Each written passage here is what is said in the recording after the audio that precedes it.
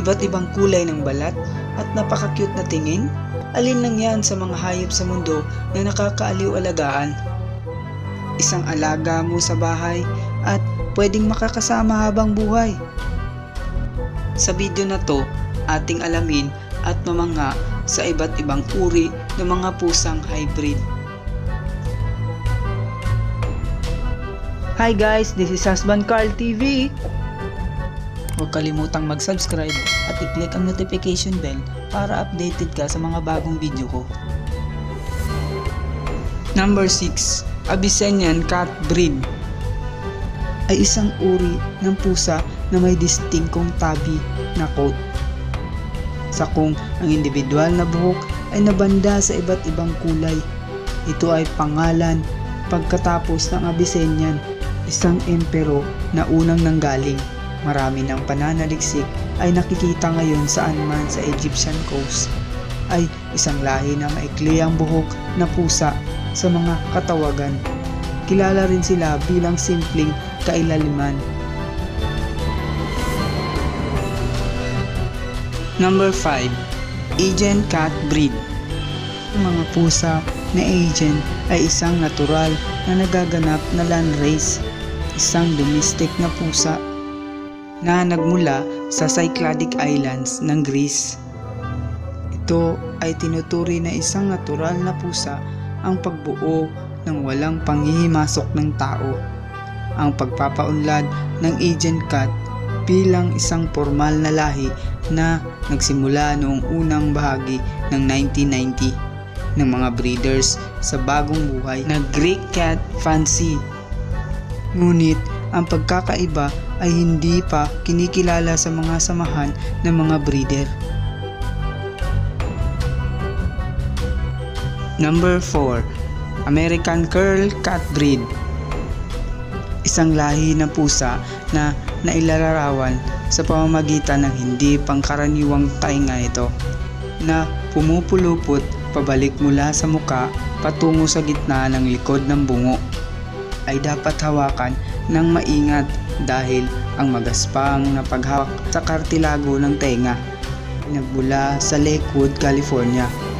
Isang American Curl ang pinamalas sa isang cat show sa kauna-unahang pagkakataon noong unang panahon ng 1986.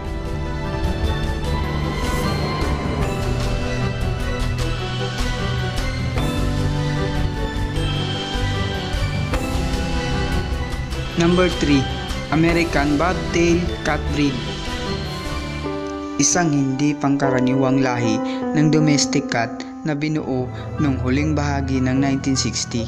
Kapansin-pansin ito sa buntot na bobed na buntot na halos isang katlo hanggang ang kalahating kalahati na haba ng isang normal na buntot ng pusa ang resulta ng isang uri ng cat body na genetic mutation na nakaapekto sa pagbuo ng buntot. Katulad ng isang man's cat, ang lahi ay hindi nauugnay sa Japanese bobtail sa kabila ng magkatulad na pangalan at pisikal na uri.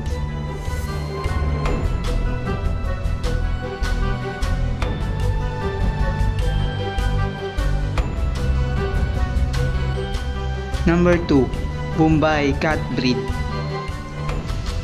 Ang Bombay Cat ay isang uri ng pusa na may maikling buhok na binuo ng pag-aanak ng sable na Burmese at itim na American Shorthair na pusa.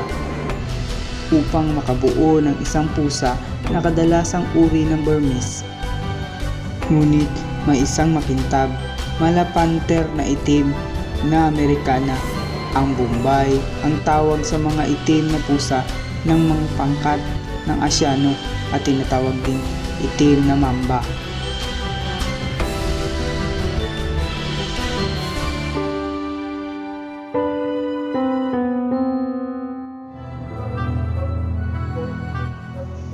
Number 1. Bambino Cat Breed Isang lahi na pusa na nilikha bilang isang krus sa pagitan Sphinx at ng mga lahi ng Munchkin. Ang pusa na bambino ay may maikling paa, malaki at patayo na tainga at kadalasang walang buhok. Gayunpaman, ang ilang mga bambino na pusa ay mayroong balahibo. Ang mga binti sa likod ay maaaring bahagyang mas mahaba kaysa sa harap ng mga binti, katamtaman hanggang mahaba ang katawan.